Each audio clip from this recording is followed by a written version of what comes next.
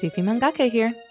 Hirohiko Araki, beloved mangaka and creator of the timeless classic JoJo's Bizarre Adventure, has neatly curated up all of the secrets that launched him into manga stardom after creating one of the most iconic series of all time. And nobody's talking about it. From story writing to his literal template for creating characters, it's all neatly curated in a nice little book and sold for less than the price of your DoorDash lunch order. And let me tell you, in it has some absolute gems that any aspiring comic, manga, or graphic novelist needs to hear, like yesterday.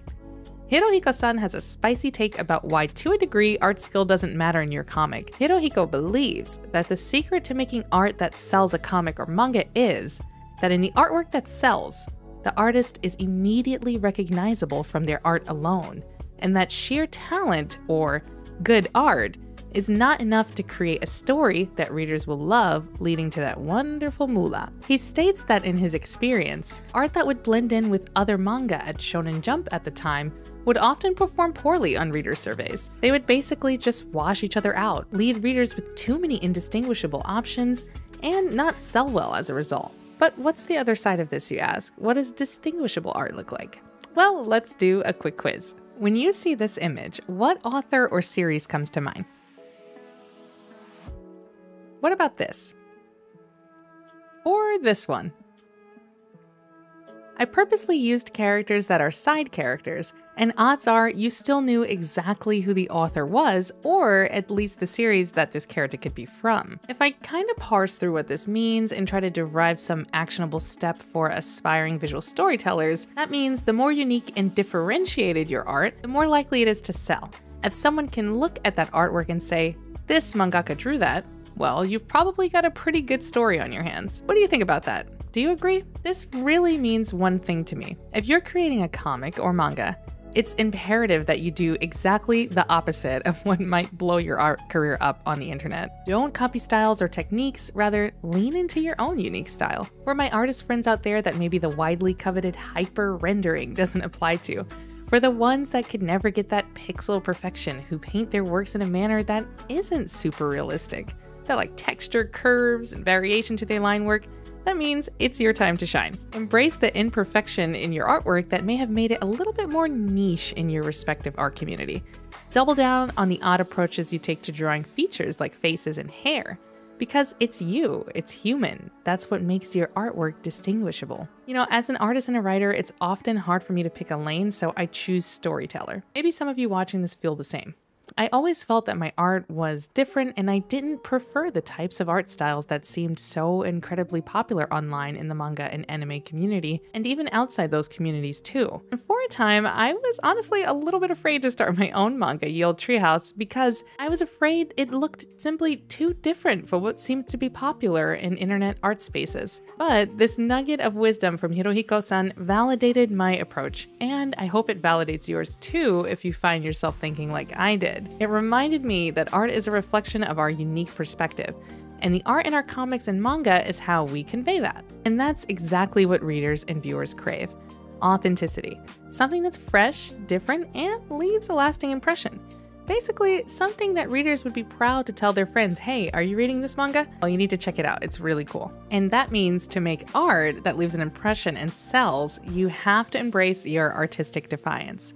Sure, it may feel a bit daunting at first. Stepping away from the crowd, embracing your own artistic approach, you know, it can be pretty lonely. And with the way the art community is online, maybe even sometimes a bit scary too. But trust me when I say this, there's a plethora of readers out there who are eagerly awaiting your unique vision, your unconventional style, and your daring choices. They're craving something fresh, something that makes them do a double take and say, I've never seen a mangaka draw X like this. Just with this YouTube channel, I've experienced it myself. I'm so grateful for all of the lovely comments and support and interest in my characters. I really never thought I'd see that. It's phenomenal. There is no right way to draw, there's no right way to draw characters and design them.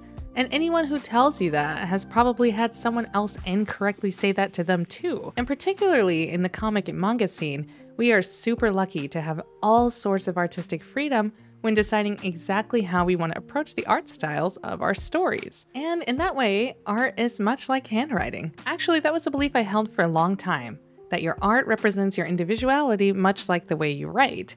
I was blown away to see that Hirohiko thinks the same, and he mentioned that in this particular chapter of his book. We may have a handwriting style that we like, we may try to replicate it, but it's dang hard to do so perfectly because there's just so much intrinsic individuality with the way that we write. And think about your friends and your loved ones. You can definitely discern their handwriting from others by just looking at it, right? To make art that stands out in a comic, we needed to have the same effect that handwriting could have. You need to be able to look at this character, the one I'm drawing, Sasaki Tatsumi from Ye Olde Treehouse, and immediately tell that the artist is Fifi Mangaka. Well, at least hopefully one day you can tell that. And ultimately, I think this is such an exciting approach. This is basically a pro, like the best of the best in the manga world, saying that he believes you can be successful as a mangaka if you dig deep into your artistic individuality. Do you know how freeing it is to hear that? I can't even describe it. From my time on the internet as a passive onlooker, I never wanted to post anything because I just don't draw like what's popular. But knowing that you can be successful, especially if you dig into that individuality, is like it's like a gift to the earth. It's okay to draw differently. It's okay to have seemingly unconventional artistic elements to your work because that's really our secret superpower. So don't be afraid to proudly use it and create work that really sets itself apart from everything else out there. I know readers and viewers are really waiting to see that sort of stuff, and we should take the liberty to proudly do it. And if you want more inspirational nuggets of wisdom from one of the best in the manga game, do yourself a massive favor and pick up Manga in Theory and Practice, the craft of creating manga. Any aspiring comic author must read this. Your future self will absolutely thank you for it. Thank you so much for chilling with me and watching this video. I hope you found this information really valuable. I know for me, it has really validated my approach to creating my comic. If you like this video, feel free to give a like and subscribe to the channel for more videos like this. I'm an author, I have five published novels, but I'm dipping my toes into manga, and I talk about lore, character design, all kinds of things adjacent to that as I'm writing my own manga Ye Olde Treehouse. And for those of you that are very interested in Ye Olde Treehouse, it's Friday, and that means Ye Olde Treehouse Update Day. So there's a couple of things that I've gotten done recently this week, since I changed my schedule, it's actually improving my productivity through the roof. It's improving everything. So I have designs finalized for an airship in Olde Treehouse. Yes, there are airships. They're actually called skyships, but I have finalized the design for the major skyship that will be in Ye Olde Treehouse. That was something that took me forever and it's done. You're to see it on the channel pretty soon. I have also finalized another major antagonist that will be seen in the first arc. They're part of Drindath Nosferia's crew, and they're very interesting. I'll just say that. You'll also be seeing him pretty soon in a speed paint one way or another. I'm continuing doing my action poses and figuring out each character's moves and elements and, you know, getting those things under wraps because Ye Olde Treehouse is an action manga. I'm really trying to refrain from saying shonen, but it would kind of be classified as a shonen. Um, so it's really important that I, I get some memorable action going on with, with my characters. So I'm doing, I'm making good progress with that so far. If you haven't noticed on the channel, I've been dropping little character trailers. Those are going to keep coming.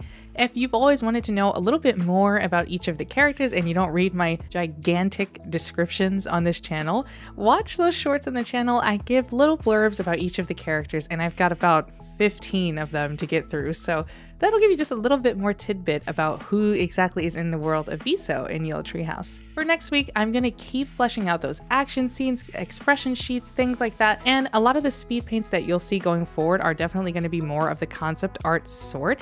So I hope you're okay with that. Um, they probably won't be 100% full illustrations like this one I'm drawing right now, but it will give you a little bit more behind the scenes and hopefully bring some life to the characters that if you've been around with me since the beginning of this channel, you've been seeing. So with that being said, that's all of the Ye old updates that I have for you all today.